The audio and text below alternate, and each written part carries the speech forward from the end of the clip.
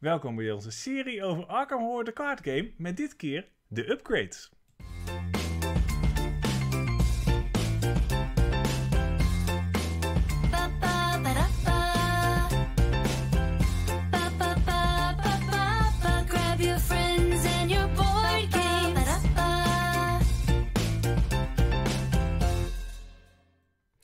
Serie die je zo nauw aan het hart ligt, wil je natuurlijk upgraden met vette componenten. En dat hebben wij dan ook gedaan de afgelopen jaren. In deze video gaan we laten zien welke upgrades wij zelf hebben en welke upgrades we in onze webshop verkopen en die we zelf ook nog wel willen toevoegen of al toegevoegd hebben. Precies, dus eh, nou, dit is iets wat duur in de portemonnee gaat zijn, want upgrades zijn over het algemeen behoorlijk prijzig. Maar bij Arkham Horror zijn ze het wat mij betreft zeker waard. Gelukkig is Arkham Horror zelf al een heel goedkoop spel. Ja, dat klopt. Oké, Ja. de upgrades. Allereerst hebben wij dit zakje gekocht. En dit is een zakje met een Cthulhu dingetje erop. Maar ik heb begrepen dat als je nu de revised version van de nieuwe Arkham koopt, dat dan het zakje er al bij zit. Dat is dus niet dit zakje, maar er zit wel een zakje bij. Dat is super fijn, want je moet de hele tijd zeg maar blind een token graaien. En dat gaat gewoon veel makkelijker in een zakje.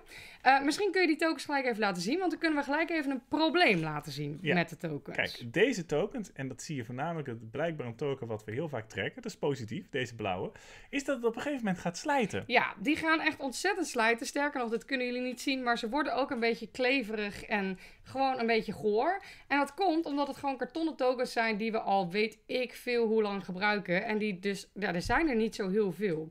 Dus eh, als er nieuwe tokens aan toegevoegd worden, dat gebeurt wel eens in een scenario, dan is dat eigenlijk nadelig, want dan kan je min of meer voelen welke tokens het zijn. En ik vind van die vieze gore kartonnen tokens gewoon een beetje vies. Dus wij willen ze gaan upgraden en wij hebben daar eh, verschillende tokens voor. Zijn dat de goede? Even kijken, nee, dat zijn niet de Nee, goede. het zijn deze. Oh, het zijn die inderdaad, Kijk, ja. dit zijn acryl tokens van, eh, waar is dit ook alweer van? Van. Laser Rocks. Deze kan je in onze webshop kopen. En dat zijn dus hele zware, stevige plastic tokens, waar gewoon die waardes op staan. Even luisteren.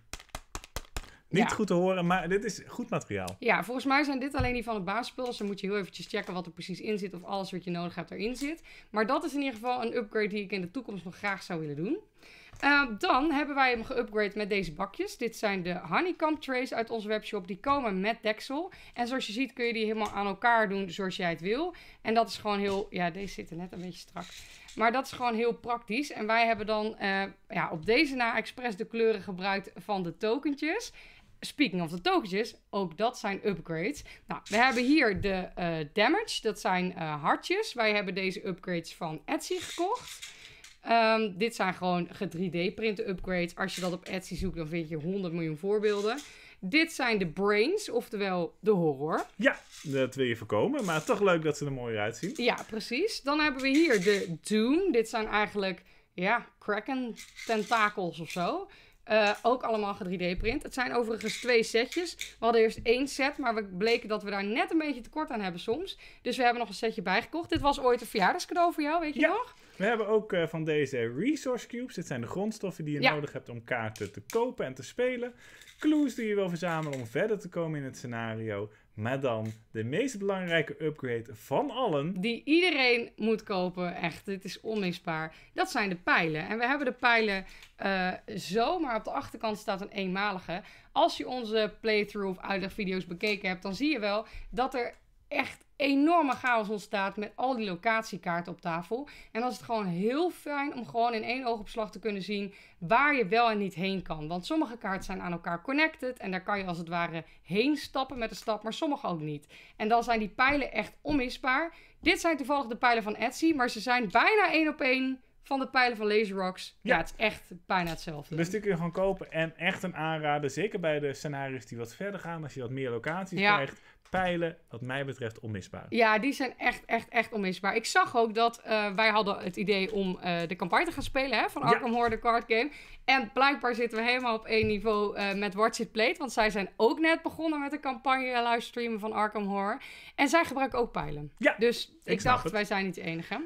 Dan nog wat dingen die wij zelf nog niet geüpgrade hebben, maar die we wel verkopen in de shop. Dus dat vond ik toch leuk om even te noemen. Wat heb je daar links? Ik heb hier de Clue en Doom tokens. ja, dus dat wij zijn deze en die, maar dan als andere... eh, ja, dus gewoon als tokentje zijn die. eh, maar ook allemaal acryl. Eh, we hebben van deze secret tokens eh, die Ja, je in kan zetten. Die zijn voor specifieke scenario's heb je Ja. die nodig. Eh, deze two-player investigator set, hier komen wat meer tokentjes samen. En ammo tokens die je nodig hebt Ja. voor bepaalde Ja, vuurwapens. nu gebruiken wij voor die ammo tokens gewoon deze basis. Maar het is eigenlijk natuurlijk nog leuker als je daadwerkelijk kogels hebt. Ja, En dan is dit doosje ook nog leuk, want deze tokens die hebben wij natuurlijk ook van Etsy. Maar dit zijn de, moet ik even kijken wat erin zit, de Clue, Doom, Health, Resource en Sanity tokens.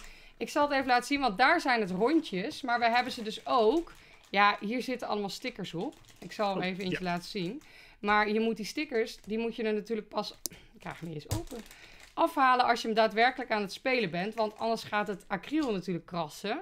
Eh, oh, dit is een houten tokentje. kijk nee, dat is niet hout. Hier zit ook een sticker op. Ja, dus dat zijn eigenlijk... eh, Ja, ja, van dit, zijn dan die Doom. Die worden heel vet. Maar dan eh, net wat groter. Dus deze zijn gewoon Ah, te och, koop. dit is heel fijn. Een token foil remover. Ja, Want hoe vaak ik mijn nagels niet gebroken heb op die dingetjes die altijd van al die acrylstukjes af moeten. Ja, het is wel vet hoor, want deze is ook gewoon heel rood. Dit is eigenlijk ook gewoon een brein. Super tof. Heel leuk. En wat we zelf ook nog hebben, dat zijn van deze... Dit zijn eigenlijk plaatskaathoudertjes uit de tijd dat we ook nog eh, decoratie verkochten.